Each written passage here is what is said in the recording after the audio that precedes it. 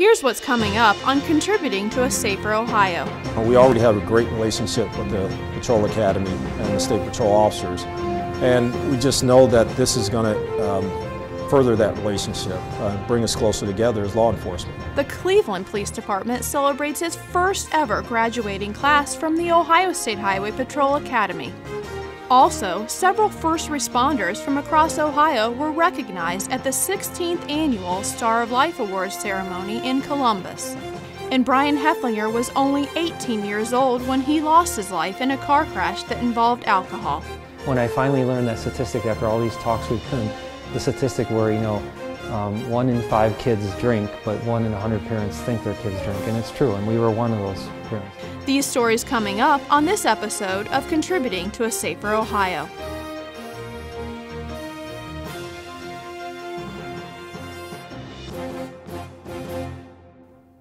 After living at the Ohio State Highway Patrol Academy to learn the basics of police work for 21 weeks, the Cleveland Police Department cadet class took a moment to celebrate on graduation day. The ceremony on May 6 ended one chapter in a journey shared by Cleveland Police and the State Highway Patrol. Ohio State Highway Patrol um, started training uh, basic police officers in 1968, in which uh, officers were trained by the State Highway Patrol from local uh, municipalities where there was two or three officers that came and, and made up a class of about 30 officers from various uh, jurisdictions. This class, the Cleveland Police Department, uh, is the very first class which we have trained an entire uh, unit of police officers. The uh, Division of Police is 150 years old uh, this year. And in that entire history, we have never sent an entire cadet class uh, out of the city to be trained. Uh, so we definitely trust the State Patrol Academy. We know its professionalism. We trust its leadership.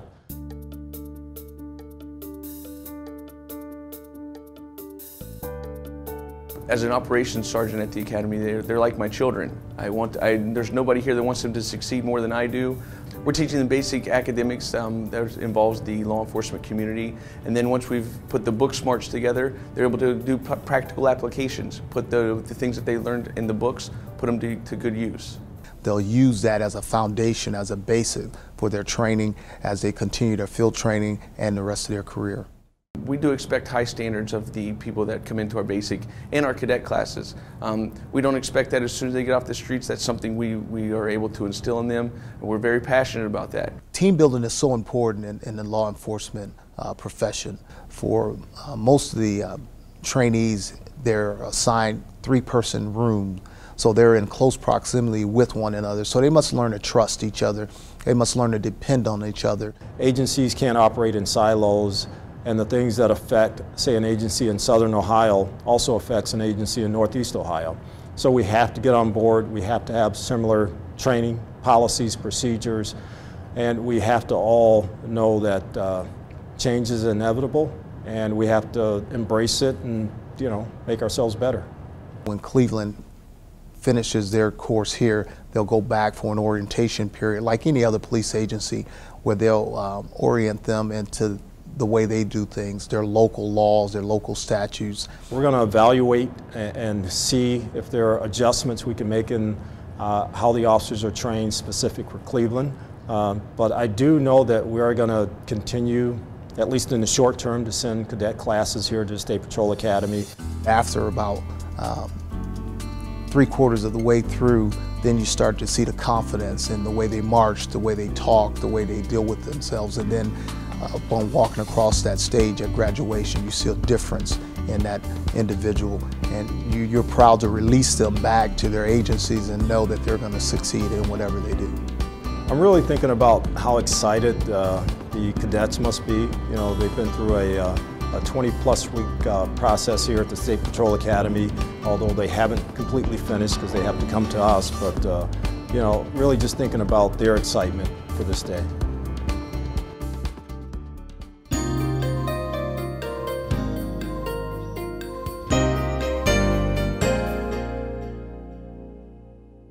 Most of us have grown accustomed to the blaring lights and sirens of the ambulances and fire trucks that hustle through Ohio's cityscapes day and night. transporting a team of EMS providers to the latest emergency.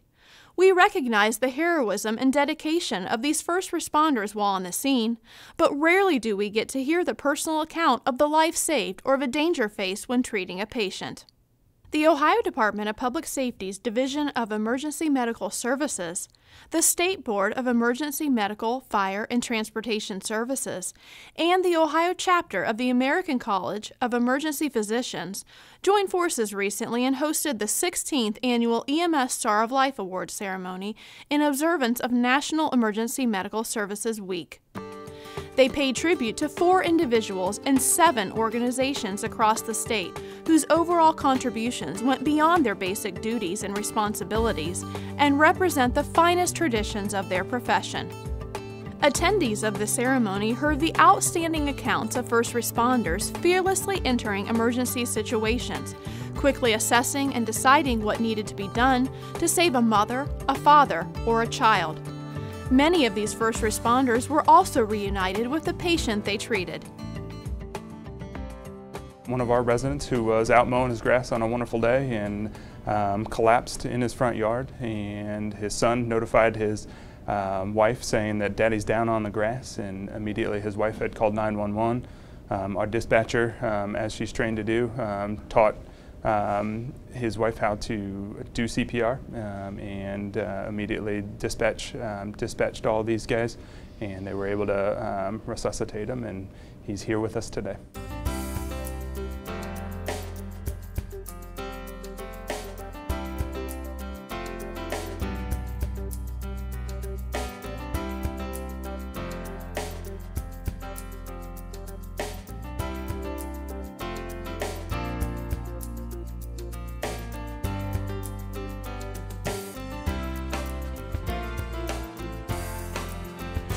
Ohio needs to see that there's been so many advances as far as emergency care. There's been a lot put into the system, and this is one of the ways to show that you know the public is getting something out of it. The next time an ambulance or fire truck passes you on the road, keep in mind the sacrifices made of those who provide the day to day life saving services of medicine's front line.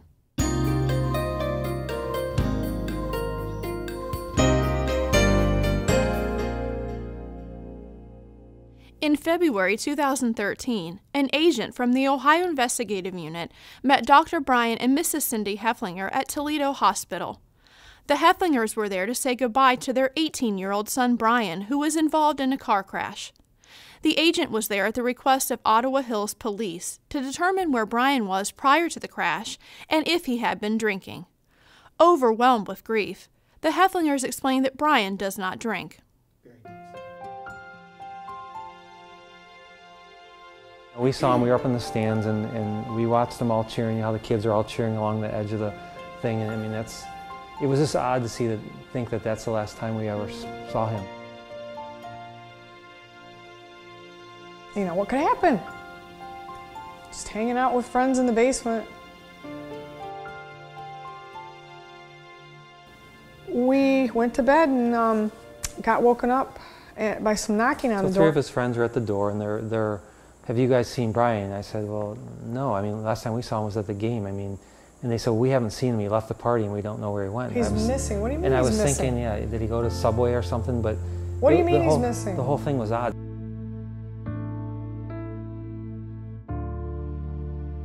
You knew something was desperately, desperately wrong. And she said, Cindy, there's been an accident. And I said, No, Margaret. No, there's been no accident.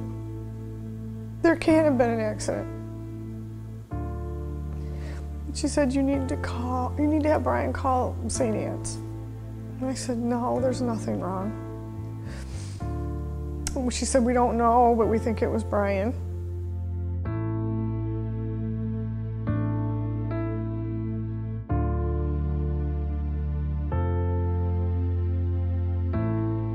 Was hoping that it was just something minor, and I called St. Anne's Hospital and I said, "This is Dr. Hefflinger. Is my son there?" And they said, um, "He's not here anymore."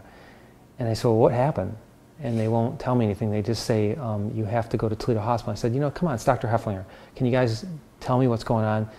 You need to call Toledo Hospital." So, so then that's when my life changed because I knew if he went to Toledo Hospital that was life threatening. And um, I called Toledo Hospital and I said, This is Dr. Hefflinger.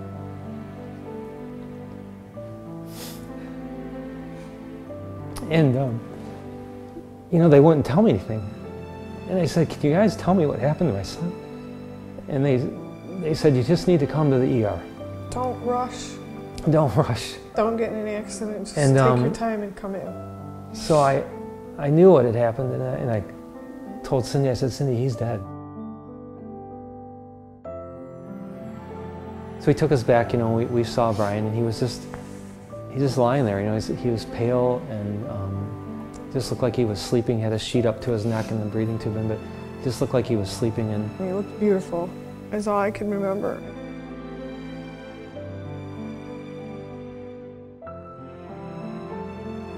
You know, I think it's important when something like this happens to not hide from it. And I think for our kids, it was very important to, for us to teach them that life goes on. You know, we addressed the alcohol and took that head on. You know, nobody's perfect, and Brian drank, right? But it doesn't make it right, and it doesn't mean that people can't learn from it. I'm not embarrassed by what my son did. He's a kid, he's a teenager, he does what a lot of teenagers do. Unfortunately, he died as a result, but there's no reason that we can't learn from it and try to impact people from it. And it hasn't always been easy to have to stand up there and talk about. Um, but it became glaringly clear to me what people really thought of my son. And it, it had nothing to do with alcohol. And I believe that the alcohol is our, our mission. If you're ever going to think about getting in a car with somebody who's been drinking, please don't. Don't do that. Or don't get in the car yourself. And You know, Brian didn't have a second chance to make the right decision. So you have his second chance. And if he did have a second chance, do you think he would do the same thing again? Each and every decision and choice that you make has a consequence. And you need to think about what those consequences are. you can be whatever you want to be, but you can see that just one bad decision can take all that away. The Hefflingers have spoken to high schools throughout Ohio and across the country, as well as civic groups, hospitals, and the Ohio Investigative Unit's Alcohol Server Knowledge Program.